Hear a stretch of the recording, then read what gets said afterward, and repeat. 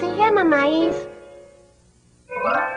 Los mayas quichés, indígenas de Centroamérica, llamaban maíz a este cereal que era su principal alimento. Con el maíz se preparan variados y deliciosos platos. ¡Eh! ¿Y las rositas de maíz?